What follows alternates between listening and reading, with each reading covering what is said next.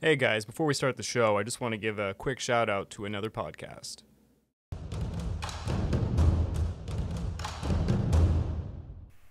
Welcome, dear reader, to Dispatches from the Armchair. There's so much news, and the world moves so fast. What are the big ideas and historical forces that are really shaping our world? Go deeper than the headlines with Dispatches from the Armchair.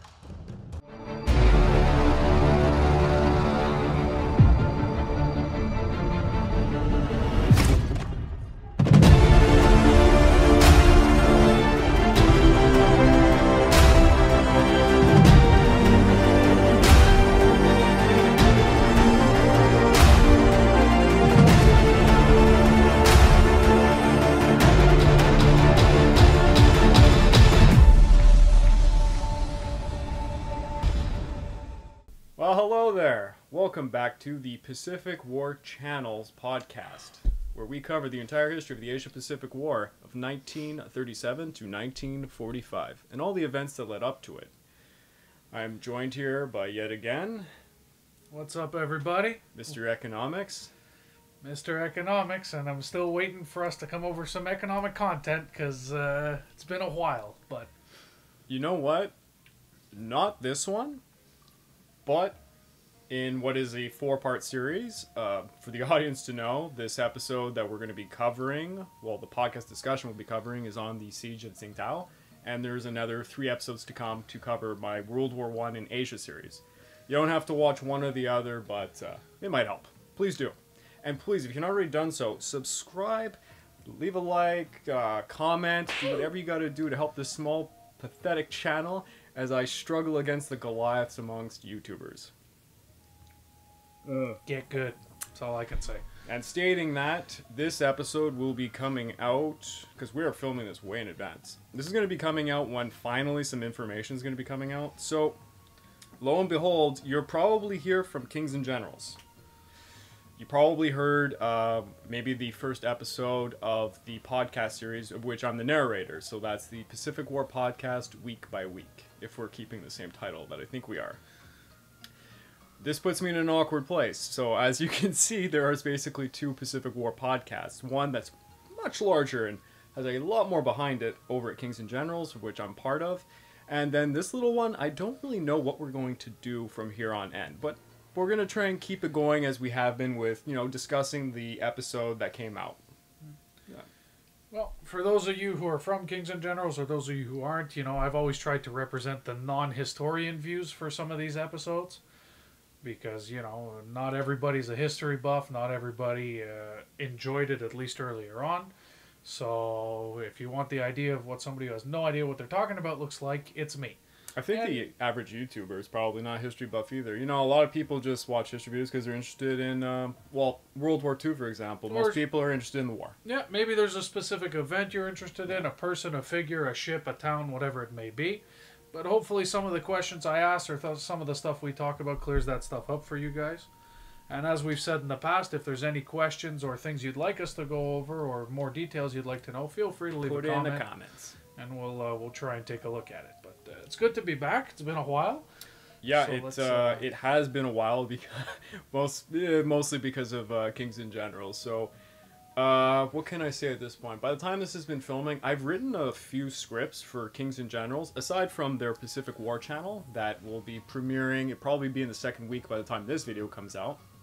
Um, boy, uh, we have written months and months in advance of stuff that I probably can't say because I'm under an NDA, but uh, it's going to be exciting. The animators at Kings and Generals are magicians. I've seen things I couldn't even imagine on YouTube. It actually beats most history documentaries on Netflix at this point. So a lot of exciting stuff is coming your way on their channel. But please subscribe here. Uh, yeah, if you prefer the uh, stick figure animation that uh, I'm good at stick figure. I, I'm really the- good. the- that we do over here. This is this is the channel for you guys. If you like the scuffed stuff, th th this is it. yeah, as XQC would say, it's, it's, it's, it's scuffed. it's, it's it's very scuffed, but uh, we appreciate the support either way. So let's get into this bitch, All right, the siege of Tsingtao. which is not actually called whatever you just said. Apparently, we were talking about it before. It's mispronounced by all Westerners, and it's stuck to this day. that's why I'm just not going to try. We're going to stick with that town for now and uh, go from there. But uh, we were even talking about the beer a little bit earlier. Oh yes, I had to. I didn't have a chance really in the episode to talk about the history of a beer that I actually drink anytime I go to a Chinese restaurant. I really do like the Tsingtao beer. It's amazing, and it's refreshing too. It's uh, It's lighter a little bit. It- it's really lighter, and I had to look up myself. So I went on the official website, and I forgot to buy Tsingtao beer before this podcast. So pretend we're drinking that right now. But the official website lists the the history as it unfolded. And the beer is actually misnamed because of the way Westerners pronounce the Yeah. name of that town. Yeah, it shouldn't be pronounced that way, but it, it's inevitably what it is today. So, um, actually, you know, I did an episode. It's actually on- kind of appropriate because this channel is pretty legendary at mispronouncing oh yeah. things. Uh, Papa, Quoi can you go and buy me a croissant? Un quoi A croissant. Non mais ça va pas, non T'as vu comment tu parles Un croissant Pas un croissant Croissant. Un croissant If you want mispronunciations of names, places in China, although I think I'm getting better in China, but Everywhere. Russia, Ge- Germany, Russian- China, Russia, Oh, eh, come you on, name it, we've that. mispronounced everything. But anyways, so you give a, I'll give a little brief history of the beer. So um, as we saw, even in my previous episode with the Boxer Rebellion, there was two German missionaries that were uh, murdered when there was the anti-Christian revolts going on. Uh, it was the Juye incident of 1897, in which they were killed. So that you know sprang on this whole thing where all the countries were trying to fight for concessions because they wanted to grab pockets of China, but they were kind of terrified about holding them because you had to defend them against these were- Everybody. the boxers that were you know killing everybody. So uh, Germany was the first one to do something, and they took concessions in Shandong province. So when they leased it for 99 years, which they didn't get their, yeah, they didn't get to hold it for 99 years. So I guess I wonder if China ended up paying them. No, I don't think China paid. For, I anyways, highly doubt it. yeah, so they kind of got screwed on a deal there, if you think about it. But uh, when they took the Shandong province, they decided to build a port city because that's what everyone was doing. So uh, Britain, you know, they built up Weihai Wei's port city. Um, Russia built up Port Arthur, and it was really a means to you know control the Pacific Ocean because this is in the day Yeah. that naval fleets control everything. So Tsingtao was a port city made by Germany. Uh, the same way the German cities were built, so it would have been quite a I wouldn't call it an eyesore in China, but it would have been very Would have been. interesting. It would have looked out of place for sure. Oh yeah, the brickwork and everything. They would have. Apparently, they were quite. From reports I read, uh, the Chinese locals were pretty fascinated by how it looked because it was pretty exquisite. Yeah. Well, different building styles. Uh, you know, so they definitely would have built it kind of in their style, but it's. That was a great sentence. Sorry. Brain hasn't woken up yet. No, different building styles, but, uh, you know, they really went out of their way to kind of make it German, too. We were talking about the, the way they name, you know, they, they renamed a bunch of areas, towns, hills, things like that. Yep. All German styles. Three, uh, the three defensive hills they named, you know, uh, Moltke after the famous uh, general, Bismarck. Otto von champ. Bismarck, if you guys are German buffs, you know who he is. Had the warship named after him and everything. Very, very well known. most in Germany. influential person in history, you could argue, and uh, Iltis was the uh, other third defensive hill. So there's all famous uh, German people, but that's what all countries would do because they love to label things. Yeah.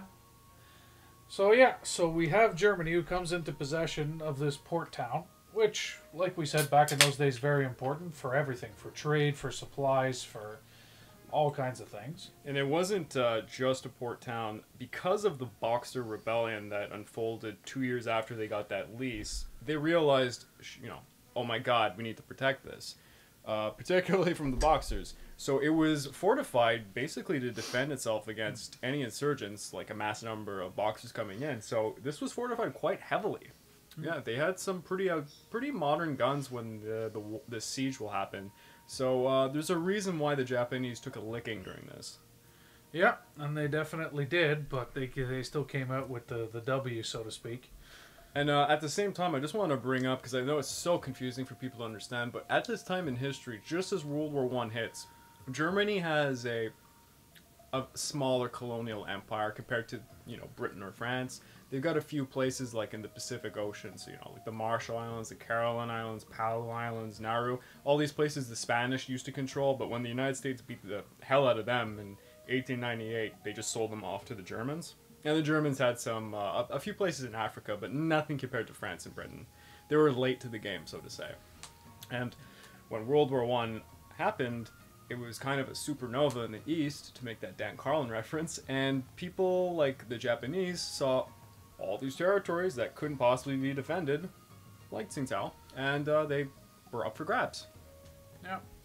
I think, uh, I believe you, before we started this podcast, you had a question about why would Japan fight Germany or even take this? Well, you had mentioned that they got a little bit of a nudge from the British, but uh, you know, and we'll get into it more near the end of the episode as well, as far as the relations between Japan and Germany during World War One, because it get you know, obviously most people know that they were more or less allied in World War Two. So to hear that Japan's attacking Germany in World War One and taking over its territories is a little bit weird. so we can end. But mainly the question was to ask the, the what was the motivation for taking this town mostly because we talked a lot about in previous episodes the taking of Manchuria, but Manchuria was a very important territory at the time, Yes. both for passage, for um, supplies, railways, all those things. What was the big deal with this port town at that time? pretty much nothing. What ended up happening is interesting. So the British had asked for very specific assistance. They wanted just a minor amount of assistance to hunt down the German East Asia Squadron. So these were some cruisers and a few merchant ships that were armed. The only reason the British asked for this is because they were a nuisance. A few ships in the ocean could actually raid and take down much of your merchant ships, your troop ships. It could do a, a ton of terrifying damage, and a lot of the soldiers for Britain were coming from Anzac. Or India, for that matter. The Indian Ocean was also part of this. Uh, they were terrified of what the Germans could possibly do. And the Germans did do stuff, and that's actually the next episode. We won't get into that. So when the Japanese saw this demand for assistance, they went much further in scope. They sent an ultimatum to Germany and declared war. And then they suddenly attacked Tsingtao. The British were furious. In reality, most European powers were extremely angry this happened. They did not want Japan anywhere close to China because they had holdings in China. They were all super concerned that Japan did this. But what could they do? All of them were stuck in Europe fighting a world war. Yeah. Japan knew this.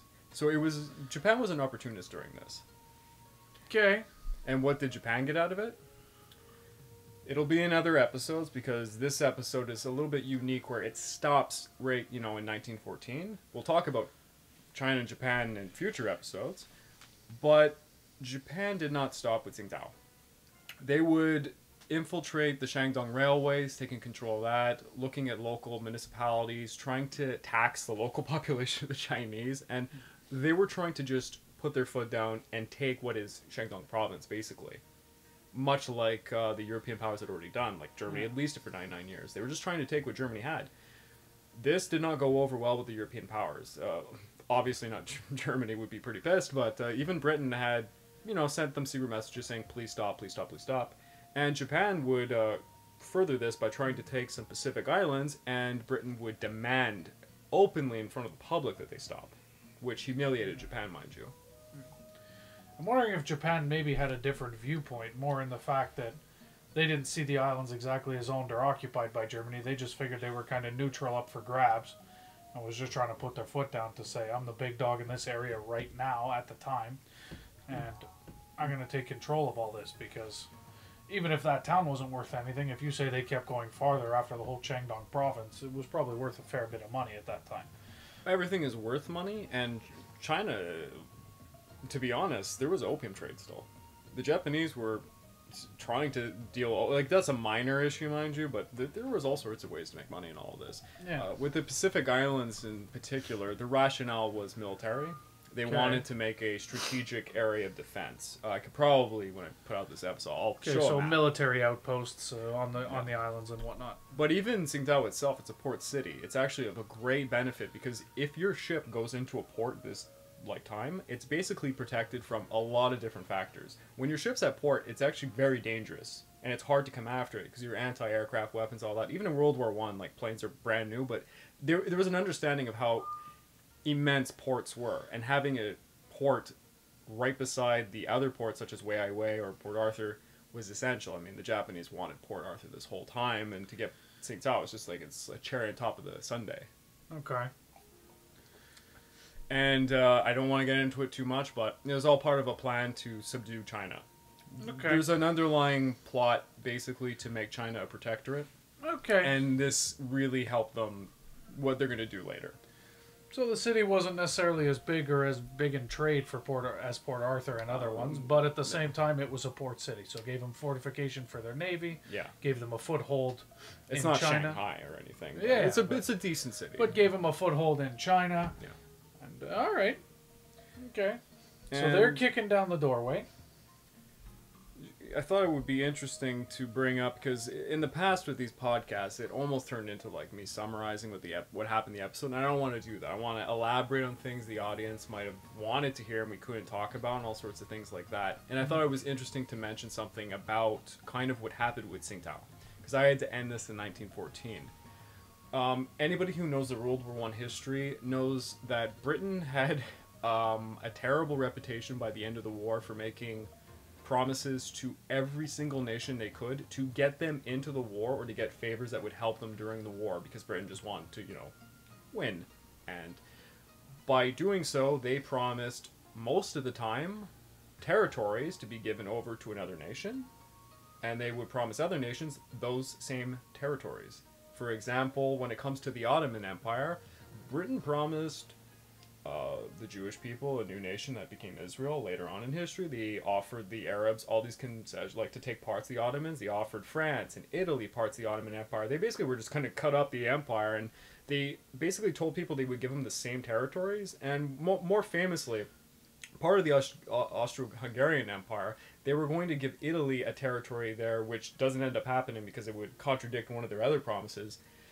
And they got in uh, a lot of crap for that, and it ran. It basically, that's how that's how Mussolini comes about. But uh, Tsingtao is one of those places where Britain did this uh, strategy. So when the Japanese came in and said they're going to go to war and they attacked the city, the British freaked out. They wanted to make sure that China remained neutral. They didn't want China getting into a mess with the rest of the world and to keep them content. So they said to the Chinese, "Don't worry, we're going to give you back Shandong province. This is a good thing. So don't worry about those Japanese. They're not going to get it. You're going to get this province by the end of the war. Don't worry." As the years unfold, the war gets worse for the Allies. The British need more help from the Japanese, and in order to ensure that help is given to them by the Japanese, they promised them that territory. So oh. when you go to the peace table and you told two nations kind of the same promise, and that's what happened to Britain, mind you, for a lot of places. Yeah, it was And I'm pretty. sure ugly. they weren't happy with splitting that piece of candy in half and sharing it. Oh no, the Japanese got it right away, and then the Japanese lost it, which was kind of ironic. So it was no one was really that happy in the end.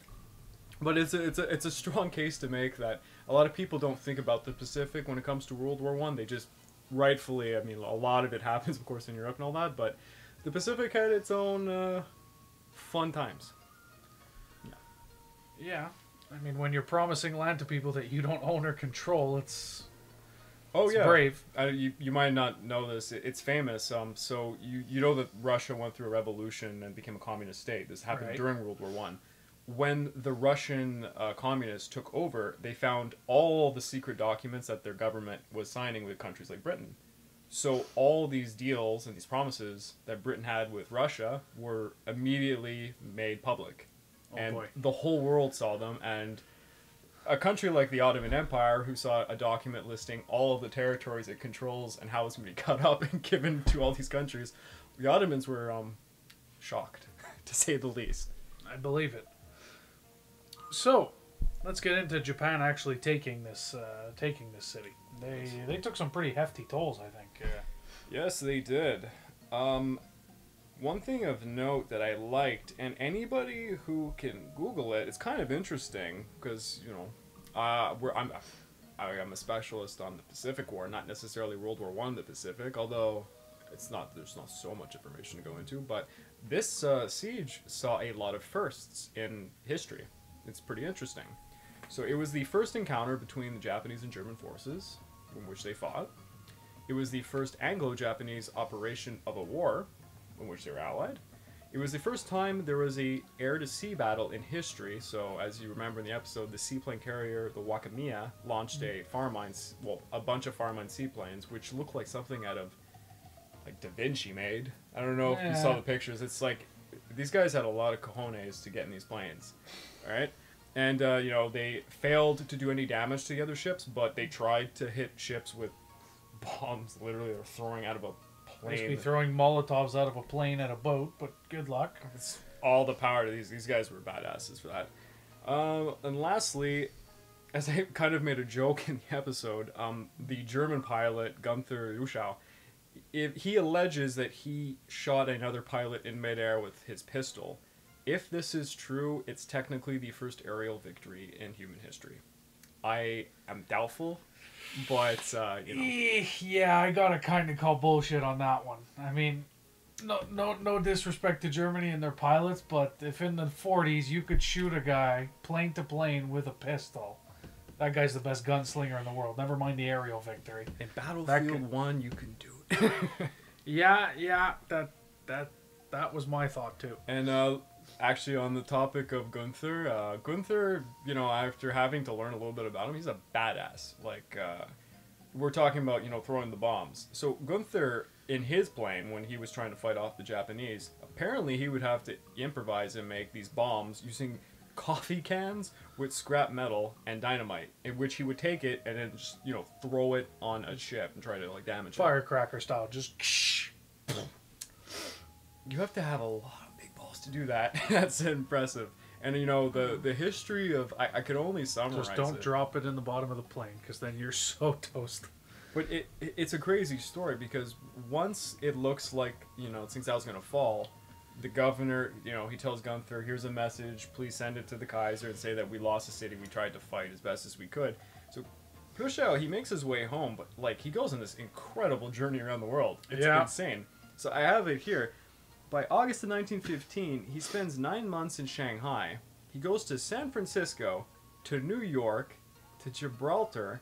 He gets captured by the British. He's sent to London as a POW, and then he, and I don't, I don't know the whole story, but he plans this great escape where a bunch of prisoners get out. He escapes to the Netherlands. And he finally gets back. He finally gets back to Germany, and then he serves for the remainder of the war in 1918. Uh, although when when the war looks like it's going bad and Germany's surrendering, he didn't. He personally did not take part in what's kind of the uh, God, what do you want to call it? The, the mutinies that happened in uh, Germany. It's another story. And uh, then he becomes a famous air explorer, and he tragically dies. Uh, he In a crashes plane in crash. Patagonia in the 30s. But uh, yeah, and to till today, uh, Argentina has him as like a local hero. Guy's like the first around the world in 80 days kind of guy, but not Yeah. quite. Yeah, just a random pilot in that little Da Vinci flying machine. Oh, by the way, uh, since we were just mentioning that he had to dispatch, you know, the fact that Tsing Tao like fell uh, to uh, Kaiser Wilhelm II. Uh, a little bit about Kaiser Wilhelm II. It's kind of funny to mention, but we had a little discussion before we started this podcast that you know Kaiser Wilhelm II sent a message to, you know, Alfred. Oh, dear. Yeah, yeah. This guy was All very special. I'll, I'll read this message because it's it should be famous. He said to the governor of Tsingtao, quote, It would shame me more to surrender Tsingtao to the Japanese than Berlin to the Russians. What I find is so kind of hilarious about him saying this is even by his day and age standards, he was a ridiculous racist. He's the guy that created what it what we know today as the yellow peril. It was fabricated by him. Uh, he's the guy that prodded, you know, his cousin into the Russo-Japanese War, saying to his cousin, "You're the great savior of the white Christian race. You have to defeat the Japanese because all of the Asian people are going to come and take us down." Yeah. And then he makes this kind of like foot in the sand moment where he it's almost like he's saying, you know, you're the Alamo. All of you have to fight to the death. They're is he insane? Like Whi- whi- whi- Which is kind of the best part because as we when we get into the battle, it's or the battles themselves, they defended it very very well, oh yes. considering they were ridiculously outnumbered and apparently outsupplied by a lot. But I love the fact that they just didn't listen to him. As soon as they knew it was lost, they were like, "Yeah, fuck this, we're out, we surrender, we're gone, we retreat." Like they, they were like, "Nope, not gonna happen." I did want to find the uh, refreshing my memory on the casualty list. So let's see. I have the actual numbers. So Germans the Japanese had 733 dead, 1,282 wounded. The Germans had 199 dead with 504 wounded. And looking at the numbers off the top of my head, they were outnumbered six to one, Japanese to the Germans. Whew, that's yeah, that's steep, and it all comes down to people not understand. Even there's a conversation about how the Russo-Japanese War showed what World War One would be like, what it looks like to run into machine gun fire, and the Japanese knew this. A lot of the people in this battle actually had fought in the Russo-Japanese War, so even knowing what it was like, those casualties, like oh, this is a this is a grimy World War One battle. Albeit it's a little bit smaller than what you see in Europe, but it's the same kind of impact that you see in Europe. These people didn't really know what could happen with these weapons, and it's it's tragic. Yeah, and let's not forget the uh, the Japanese had so much firepower, but even with that, like you said, cover fire, thousands and thousands of rounds a day just to advance the trenches. Yeah. But still, they're absolutely taking it in the teeth. It was because the defensive structures of this place, because they had these three hills in front of the main city, which was walled. It, it's a very strong city, and hmm. I mean they couldn't even take out the fleet in port for most of the time. There's only a few ships. They were too afraid that. Well, I mean the Japanese didn't want to really. How to say this? They they put it. They they didn't bring the A the A team when it came to their ships. They actually brought some like older kind of obsolete ships. They didn't want to like you know waste anything because you you can run into sea mines or something. You don't want to yeah. a really expensive ship to die just so you could take things out, not to you know make fun of the city or anything. So, eh, yeah. But the bombardments, yeah, I mean, it goes without saying, they really unloaded on them. Uh, Yeah. Can't even imagine what it was like for the Germans. Probably couldn't sleep all the days. No, you said it was seven straight days or something. They bombarded them and advanced the trenches until they finally got there. It really unfor- un- what's unfortunate for the Germans is the Japanese are one of the few nations on Earth that had practice for this because they had recently fought the Russo-Japanese War, which is almost identical to this one. Got barbed wire coming into it. You know, machine guns had finally had, was the first time you really saw machine guns in action, pillboxes and stuff. It's terrifying. Uh, actually, I did want to bring up something, and it would uh, it would kill me not to because I know a lot of my, I hope a lot of my audience are, are Chinese. Uh, we didn't really get to talk much about the Chinese that suffered during this because they're never talked about. Um, the, yeah, it's basically their territory that's being fought over, and they're just like a bystander almost. it's uh, it's really, it's almost it's insult to injury that someone like me makes a video like this, and I, I fall into the same fallacy that everyone else does. Um, the the nation of China declared neutrality during World War One. Uh, Japan did not respect that. Japan was going to come to Tsingtao one way or the other, and the Chinese just there's nothing that they could do. They just tried to sit back and like let these two nations fight on their territory, and the Japanese went out of their way to promote the idea of being a civilized nation towards the Germans. They made sure to abide by the Hague Convention, to do all international laws. As we see with the surrender, they treated them unbelievably well, with respect. Hmm. It's not just because they were German. If it was any Western nation, they would have done this. As they marched on the Germans, they plundered, murdered, and raped many Chinese. They did horrible atrocities that are identical to what happened in the First Sino-Japanese War. It's basically the same thing. The Chinese sent reports of this internationally, and the Japanese told them that it didn't matter and that that was regular conduct amongst what happens during war. But they had never done anything of the such to the Germans. I have a few notes here on things that happened. According to reports made in Shandong province, the number of cases of property damage numbered 6,200. Many of the reports indicated Chinese civilians tried to stop the Japanese soldiers from plundering their houses or from assaulting their women, and they were either shot or bayoneted. So a lot of the deaths that happened is because of this. A flow of, you know, inhabitants around the Shandong province ended up running into Tsingtao just to flee the violence that the Japanese were performing upon them. Uh, not to mention there were there were incentives. Uh, the Germans were extremely terrified of the idea of the local Chinese would help the Japanese to take them down, so they uh, they would pay the workers an extravagant amount of money. Well, extravagant back in the day. It's fifty cents if you're unskilled, seventy five cents if you were skilled. If you're a mechanic, you get eighty cents a day, and ten cents for lunch for everybody. but that back then was probably amazing because it actually incentivized a lot of the Chinese locals to uh, to come into Tsingtao.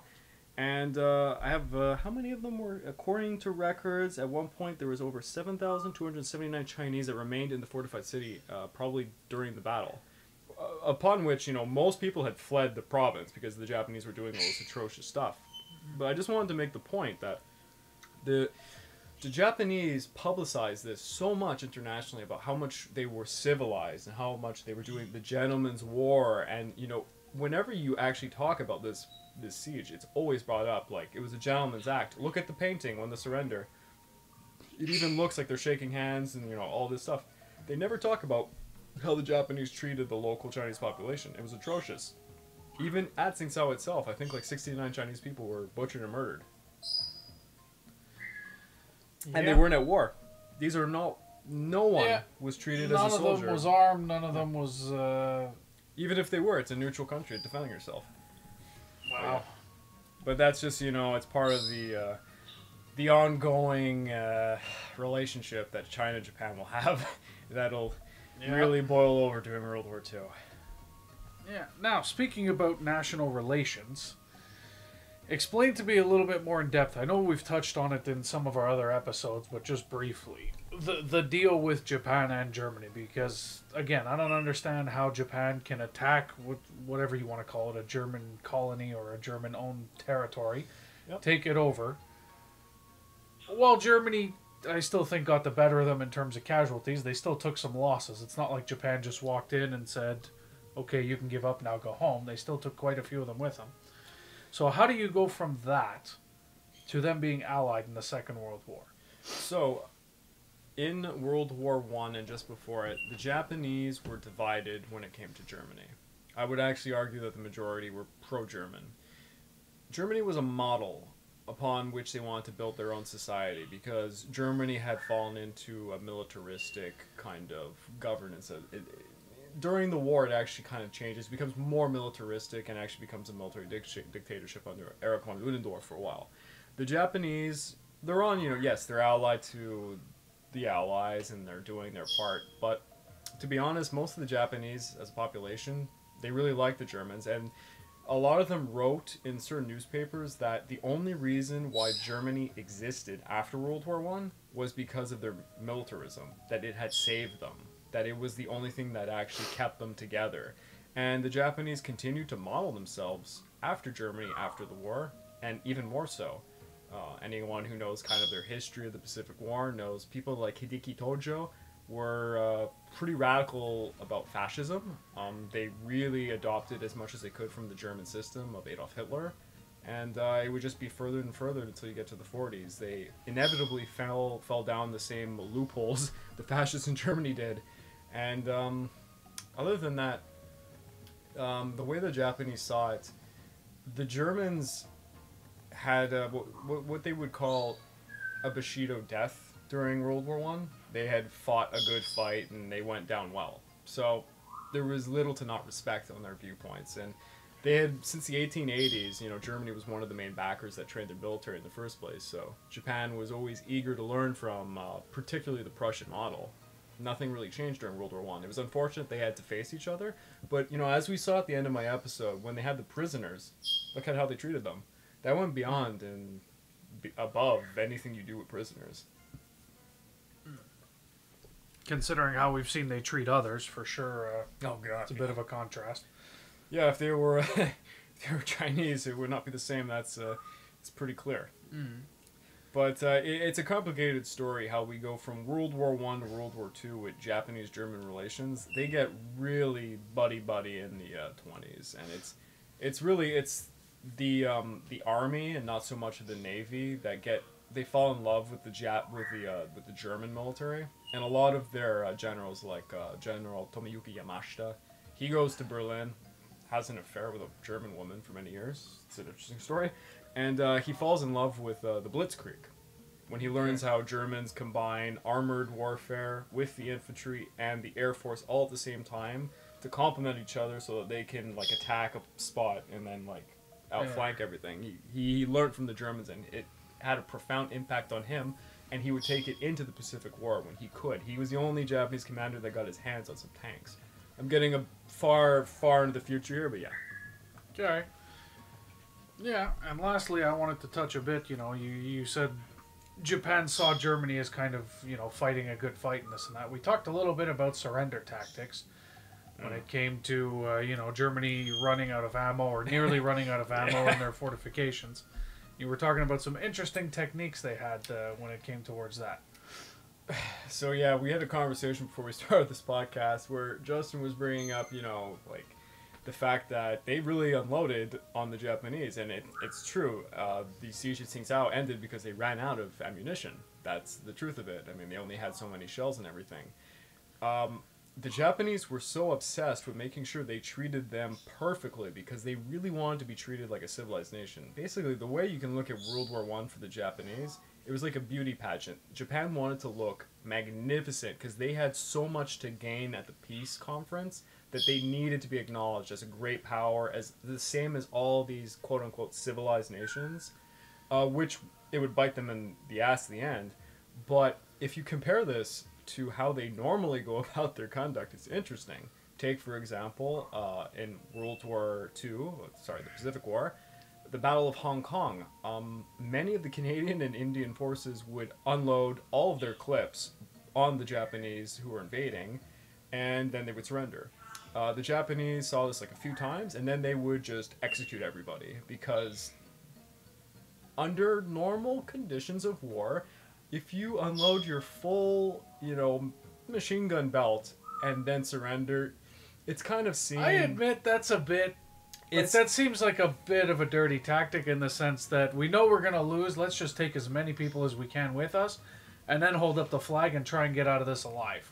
and- and- It does seem a little scumbaggy to me. I'm not gonna lie. It's a ba- it's also a bad example because on top of that, the Japanese during the Pacific War were performing war crimes every time that they could, and Hong Kong is a horrible place for this, where they executed particularly the Indian soldiers and did atrocities to them. So regardless of them unloading the clips, they probably were rightful right to, to unload the clips of the Japanese, mind you.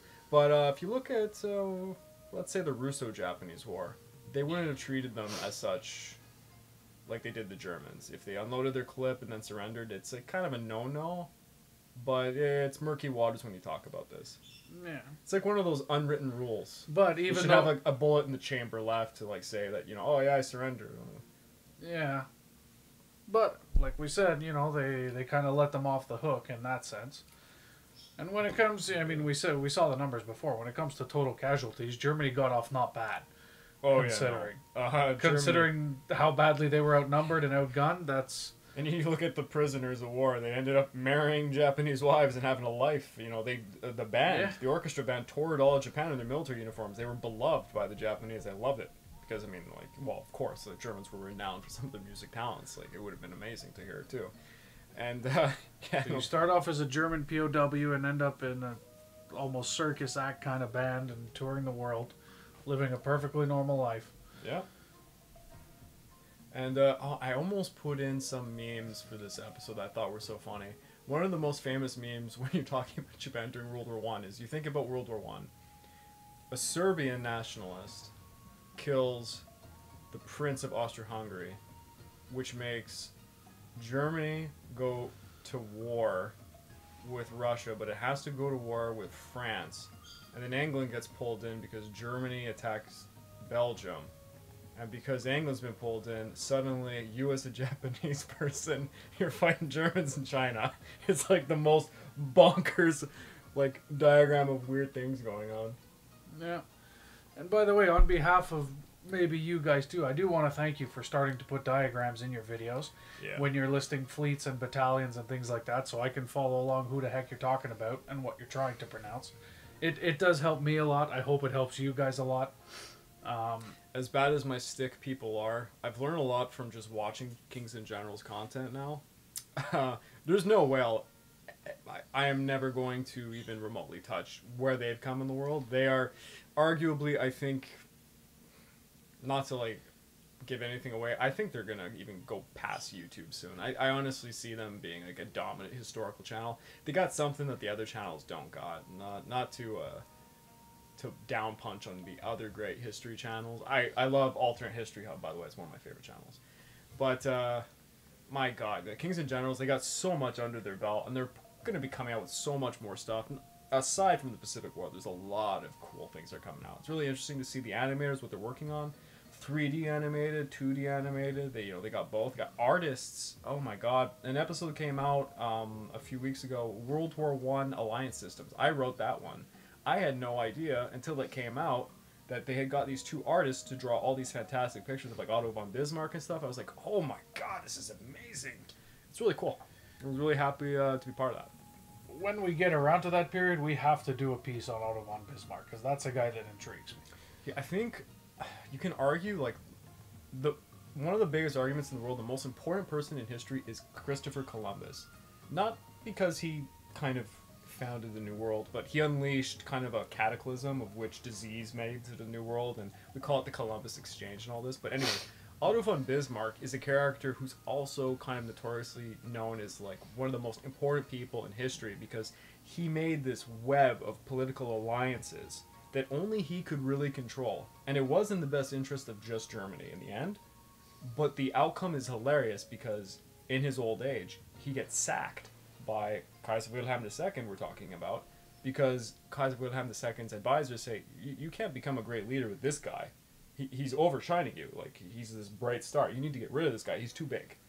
And as soon as they get rid of the master, the puppet master of all these alliances, World War One happens because his little mechanism, that powder keg that he built, got set, fused, and blew up. And yeah, I would love to do an episode on Otto von Bismarck. I'm not a freaking German historian for any. I, no, neither am I, but uh, I didn't see any warship named Wilhelm II, but there is one called the Bismarck, so. Is there a freaking warship called Wilhelm? Uh, probably there is. I just, off the top of my head, I'm not sure. I'm not well, I'm pretty sure the Bismarck would kick the shit out of it, so. Oh yeah, the Bismarck is definitely one of the coolest ships ever made. We both play World of Warships. By the way, they put submarines in that game. Yeah, you told me about it. I'm still not playing it again. It's not yeah, happening. Sorry. Yeah, sorry, man. World of Warships. What are you What are you doing, brothers? What are you doing? Please yeah, sponsor yeah. this. He, he, he's I love submarine. I love submarines. They're great. Please sponsor me, World of Warships. Anybody. World of the He'll take World of Tanks, World of Warships, World of uh, Horses. Doesn't matter. Hey, War Thunder. I'll do it all. all right, so we're kind of to the end here. Uh, what else to say? I mean, I kind of said at the beginning, uh, the future of, I mean, this channel is going to continue to do all these episodes. All the episodes you see, I'm going to be doing them no, no matter what. I'm not going to be doing them week to week like Kings and Generals because, my God, there's a lot of people working on that. That's how they manage that. Yeah, we have real jobs. Sorry. Oh, they do too. well, they're not all full time. Uh, I can't say anything, but yeah, they're they're hard workers. But uh, I'm gonna be doing event to event, and I'm gonna be doing my own thing. Um, I might be working on scripts for them, but I got my own ideas, and I'm completely different from them. They, I would call them yeah, more of their. they don't have me. Hello. Exactly. This is. Uh... Yeah. I, you know, people who watch my stuff, you know, I love my cinema, and it's like a bad thing as a historian to say that like you're using like cinematic footage from movies, but I love it. I love showing it because I find it's entertaining. People who don't like history get more involved, and there's like it's more visually, you know, scrumptious. And I can't animate, so it's yeah. the only way I can get away with it. So I'm gonna be making event by event episodes, and we're gonna be covering the full Pacific War for God knows how long I can get this going. Hopefully, it'll uh, increase with. I, I can't. I don't even know what to expect when the other podcast comes out because I know the audience for Kings and Generals is enormous. But uh, we'll see. If there's a lot of you watching this, oh God, I'm sorry for this low quality, weird discussion podcasting that we do. Uh, it's going to continue as it is, like this, and depending on your comments, what you like, who knows? Maybe the maybe the, the unforgivable speakeasies will come back. Oh dear. That suddenly disappeared off my YouTube please, channel. Please, no, not again. They're still in the podcast sphere. So audio listeners can still listen to them as far as I know right now. Either way, we always appreciate comments and feedback about the direction of the channel, about what you want to see, about who you want to see or not see. Please set me free. Tell me you don't want me anymore. Please and, leave uh, comments. Hey, if you're if you're from Thailand, tell me you want an episode about how Thailand gets involved in World War II. If you're from any Vietnam, Cambodia, like if you want all this other histories just before World War II, World War One, I'll do any special episodes. I'm up for any ideas. Yeah, Just we're running out of foreign names that we can't pronounce, so please uh, Oh. throw a few of them our way. God, I just wrote a script about Thailand, and I'm sorry, those town names are really difficult. I'm so glad I'm not the narrator for that one. Yeah, well, I think that about wraps it up. Uh, so next episode, you said we're dealing with some Navy stuff. Oh yes, so the following episode will be on German Raiders of the Pacific. So uh, I think I said in the Battle of the Siege at Tsingtao, the German East Asia Squadron that Japan was asked to take care of left. and and yeah, it's not even the Why? Japanese. The Japanese don't really even go after them. It's the British and uh, other people who end up. Yeah, doing it. I, I, I think we can all agree that Japan had another agenda when uh, they agreed to help Britain with this. they got distracted by possessions of the German Empire. Well, the next episode, we'll definitely see uh, what happened with them, and we'll get into that.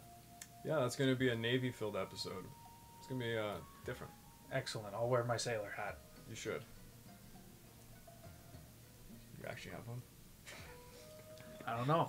If this video gets enough likes, maybe I'll buy a sailor hat. All right. Yes, please like and subscribe. Leave a comment. It helps us with the channel so that I can someday pay for enough seeds for my two parrots that you probably heard screaming in the background. They got really noisy for a while there. All right. So this has been uh, Pacific War channel, not the Pacific War week by week. Over and out. Take care, guys.